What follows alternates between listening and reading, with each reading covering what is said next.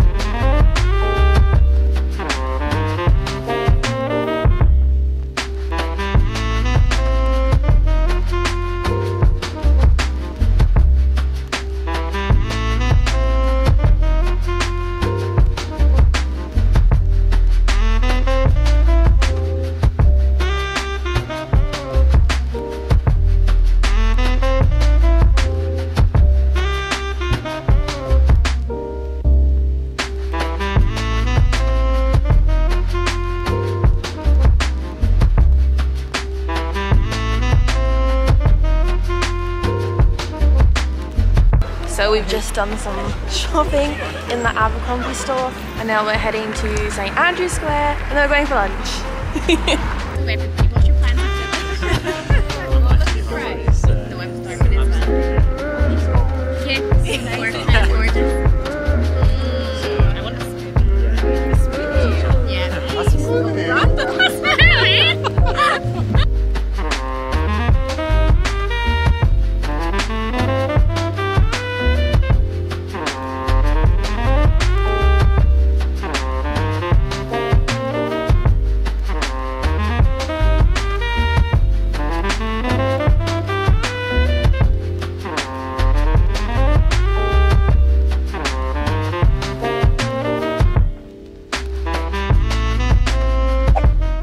my god.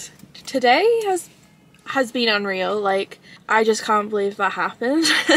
I was asked by Abercrombie to spend the day with them doing stories and content coming into store then met the team went out for lunch it was like the most amazing day of my life if you've been watching my videos then you will probably know that i quit my job to do social media full time this year, um, like a month ago, and it's been absolutely crazy and non-stop since. And I honestly just can't believe that things like this are happening for me because I do have under ten thousand followers. Like it's crazy, it's so crazy. Yeah, I can't believe that just happened. That was amazing. We started out the day at Burr Co, and met them for coffee. I drank my coffee before I got any videos of it. But um, that was so lovely.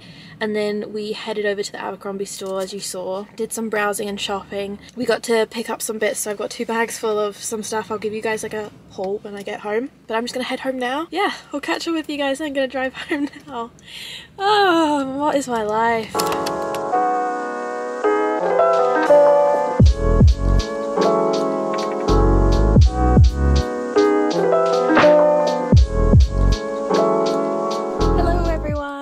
With Eva. She's stressing out as per usual. We've just arrived to a, a PR event. We've got to go in now. But uh, I'm stressing out because shit, I need to put heels on because I don't really know why. I look really summery. You it's, do. Uh, it's literally 10 degrees, guys. It feels warm in the car though. yeah, but it's gonna be freezing when I step outside. It'll be nice when you go in. I feel like I'm the only person that's not wearing a dress. Yeah, I'm wearing jeans and a really cute top. You should see the tan on my feet is awful. Oh my god, it is. Yeah. Like, oh my god, don't look at my half hair. Like, Oh oh, my my god. No, no, no. We actually can't put that in. Hopefully nobody looks.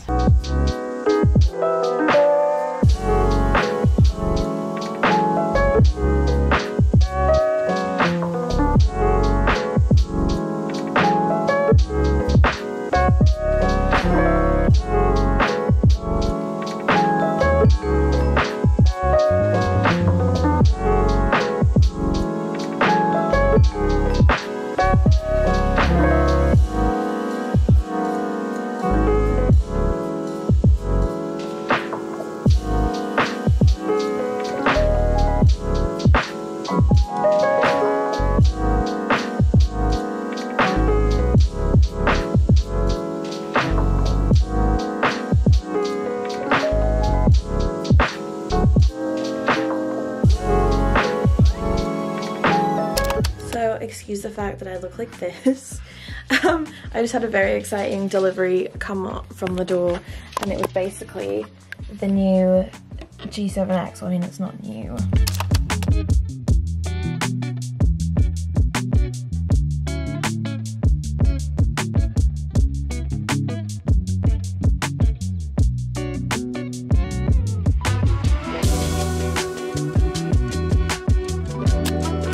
We have the G7X Mark III. This is my new camera. I did a little unboxing over on my TikTok and Instagram. Yeah, I now own the G7X Mark III and I used to vlog with it, the Mark 1 for years.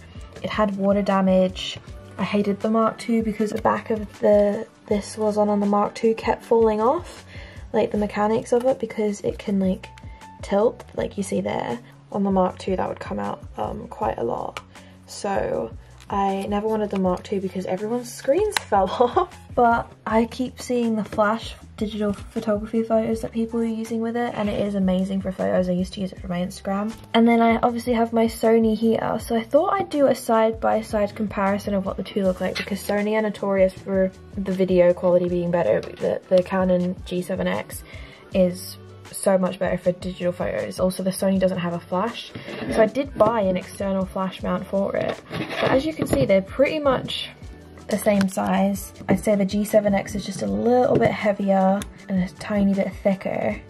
But that's it, really. The Sony camera obviously flips out to the side, whereas the G7X flips out to the top. So I'm gonna put both cameras up and then we can see a little side-by-side -side comparison. So I currently have my hand stretched out as far as it will physically go on the Sony there you can see. So this is as far, the one thing about the Sony that is, is very quite cropped and zoomed in. I prefer a much wider angle, which is why I do vlog with my Canon M50 because I have that 11mm lens. You can turn the stabilization off on this and it makes it wider, but you need the stabilization on because otherwise it's going to be so shaky. You do have the general blur faced smoothing. I think mine's on low or off, but there's always still like a little bit. Very flattering, but let's move over to the G7X. So here's what it looks like with the G7X. I'm holding my camera out the exact same as far away and it is a bit wider. It's not as cropped, but yeah, there's none of that face blurring or brightening, smoothing. You can see all my pores and everything. I find the stabilization is a lot better than on the Sony. I can move it around and it's nowhere near as shaky. Um, but I still have some playing around with this to do in terms of like, right now it's very dark. So that last one was in the video blog mode. This is just the standard video. And then this is in HDR because you can shoot in HDR. Right now I think I'm filming in 50 frames per second on like high, high quality um, setting, but it also shoots in 4K. So I'm gonna put 4K on. So this is it now in 4K. So it shoots in 4K too. The Mark 1 definitely did not, or if it did, I had no idea that it did. But yeah, this is the G7X. I will say that the one thing that I do love about the Sony is that when you record a little red light flashes here and on the G7X there is now this like red record button flashing on the screen. You can kind of see it there. It just flashes and to record I have to like use the touch screen to press the record button. So I need to figure out like the shortcuts and stuff but yeah as you can see the red light comes on there so. Which one do you guys prefer? These are sitting right next to each other and I think that kind of shows the difference in the, the wide angle shot. You can see everything around me in my G7X and these cameras are right next to one another. Yeah two completely different cameras which one? Do you even notice the difference? Probably not. I feel like I've gone through so many cameras. I had the um, Canon Rebel T3i. But yeah, I had my Canon Rebel T3i and my standard Canon lenses and then, you know, the Canon G7X Mark 1, the original vlog camera, I had that. Water damaged it twice and had to get it repaired. then I had a 60D or a 70D, one or the other, with my Sigma lenses for that blurry background and then I wanted a vlog camera that wasn't the G7X Mark 1 because it died. I then moved over to an Olympus pen and I hated it for videos. I absolutely hated it. Then I got the EOS M50 after I sold my Olympus and I loved that though it is a much bulkier camera. Like this is it here.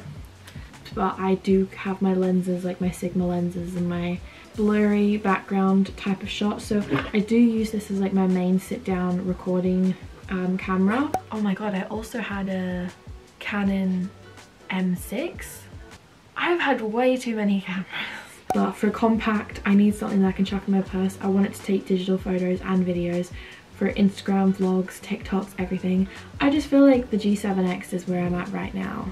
So yeah, let me know what your, your guys' thoughts are on the two of these. I don't even know if there's a difference. And I don't know about the audio for the G7X yet. Potentially time for me to retire this bad boy. She was great while she lasted. And I really did love it for for filming and how compact and small and light it was. But now the G7X is the same size and I can do photos as well as videos. Much nicer photos with flash. So no one even watches my videos anyways so if you're sat and listening to about cameras like thanks. In my head i just make videos for myself and i rewatch them like five times and no one else does. So this is just for more of myself. Yeah all right let's leave it at that